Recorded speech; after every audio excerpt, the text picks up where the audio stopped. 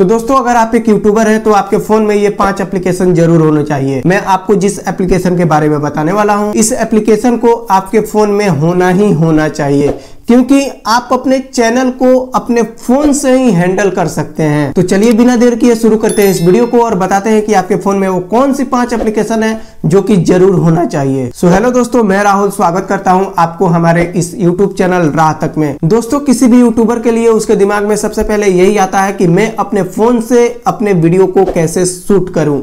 इसके लिए आपको एप्लीकेशन होनी चाहिए, जो कि आपका एक्सटर्नल माइक भी वो वहाँ पे अटैच कर सके। इसके लिए एक एप्लीकेशन आता है ओपन कैमरा इस एप्लीकेशन में आपको बहुत सारे ऐसे फीचर्स मिल जाते हैं जिसको आप कैमरा से कंपेरिजन कर सकते हैं। मीन्स आप इस एप्लीकेशन में अपने फ़ोन से एक्सटर्नल माइक को अटैच करके आप अपना कोई भी वीडियो को शूट कर सकते हैं ताकि आपकी आवाज़ जो है आपके ऑडियंस के पास क्लियर पहुँच सके।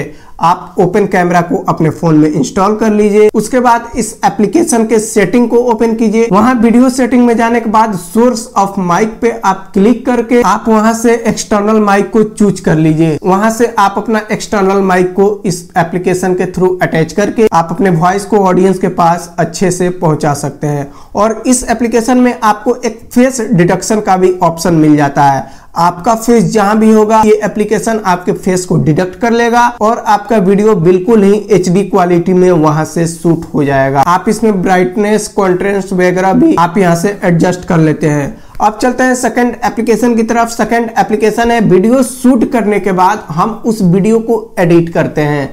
तो वीडियो एडिटिंग करने के लिए आपके फ़ोन में होना चाहिए, वो है किने मास्टर जी हाँ किनेमास्टर एक बहुत ही हैवी एप्लीकेशन है आपके फ़ोन के लिए। आप इस एप्लीकेशन की हेल्प से अपने वीडियो को काफ़ी हद तक अच्छा से एडिट कर सकते हैं। आपको नहीं पता है कि आप किनेमास्टर से वीडियो को एडिट कैसे कर सकते हैं तो मैं आपके लिए एक अलग से इसके लिए वीडियो प्रोवाइड कर दूँगा, जिसमें आपको सारी डिटेल्स में बताऊँगा कि आप किनेमास्टर एप्लीकेशन की हेल्प से अपने वीडियो को एडिट कैसे कर सकते हैं। तो ये भी एप्लीकेशन आपके फ़ोन में ज़रूर होना चाहिए। अब उसके बाद हमारा आता है थंबनेल मेकर जी हाँ हम थंबनेल को क्रिएट करते हैं। तो इसमें आपको दो एप्लीकेशन है। एक है पिक्स आर्ट और सेकंड है पिक्सल लैब पिक्स आर्ट में थोड़ा हमारे थंबनेल का क्वालिटी है, वो डाउन हो जाता है। बल्कि पिक्सल लैब में आपका थंबनेल क्वालिटी बहुत ही हाई रहती है।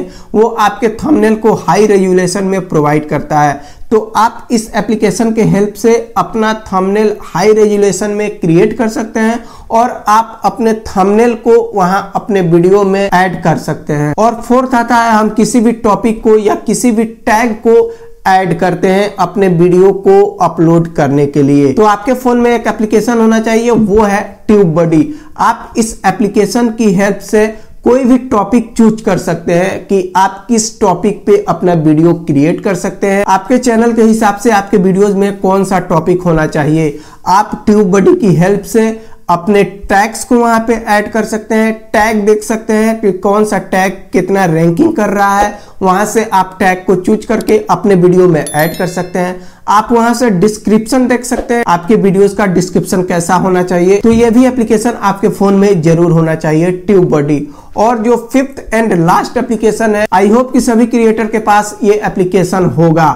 जी हाँ कोई भी क्रिएटर इस एप्लीकेशन को अपने मोबाइल में पहले से इंस्टॉल करता है, उसका नाम है यूट्यूब स्टूडियो अगर आपके पास ये एप्लीकेशन नहीं है तो आप प्ले स्टोर से आप इस एप्लीकेशन को डाउनलोड करके आप अपने चैनल को वाई स्टूडियो से हैंडल कर सकते हैं। आप अपने चैनल का रैंकिंग दे सकते हैं subscriber comments video publish unpublish X Y कुछ भी आप अपने चैनल से रिलेटेड यूट्यूब स्टूडियो में देख सकते हैं। तो दोस्तों, यही थे वो पाँच एप्लीकेशन जो कि मैंने आपको बताया। हर एक क्रिएटर के पास फ़ोन में ये एप्लीकेशन होना ही चाहिए। अगर नहीं है तो तुरंत इस एप्लीकेशन को प्ले स्टोर से डाउनलोड कर लीजिए और आप अपने चैनल को अच्छे से ग्रो कर सकते हैं इस सभी एप्लीकेशन के थ्रू तो दोस्तों आई होप कि आपको ये वीडियो पसंद और समझ आया होगा। तो हमारे इस वीडियो को शेयर कीजिए लाइक कीजिए और हमारे चैनल को सब्सक्राइब ज़रूर कर लीजिए। तब तक के लिए धन्यवाद। मिलते हैं अगले वीडियो में।